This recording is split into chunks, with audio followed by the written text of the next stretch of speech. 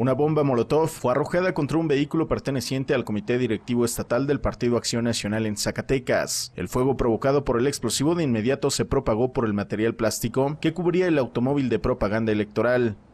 El vehículo, el cual tengo en resguardo del Comité Directivo Estatal, fue eh, atacado con una bomba Molotov eh, con gasolina y sufrió algunas este, quemaduras el vehículo. La denuncia fue interpuesta ante el Ministerio Público para dar con los responsables y este hecho marca el primer atentado violento de conocimiento público dentro del actual proceso electoral en el Estado. No estamos seguros de que pertenezcan o no a un partido político, eh, tampoco lo estamos eh, diciendo, pero sí por cómo se llevó el hecho, creemos que fue un, un grupo de personas intolerantes y radicales que están haciendo, que están llevando eh, violencia a un proceso democrático que en Zacatecas había sido muy tranquilo.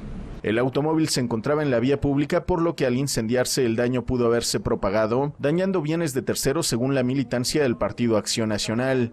No solamente es un atentado contra el partido, ¿no? sino es un atentado pues a la sociedad civil, porque pudo haber dañado a, personas eh, que no están inmiscuidas en política con características de agresión similares, otro vehículo, una camioneta perteneciente a la campaña del Partido Revolucionario Institucional, fue incendiada en un punto diferente de la ciudad capital, causando daños a molduras y recubrimientos en vinil de la propaganda electoral. Ambos hechos han ocurrido en horas previas a los cierres de campaña que Josefina Vázquez Mota y Andrés Manuel López Obrador llevan este miércoles y viernes respectivamente en la entidad.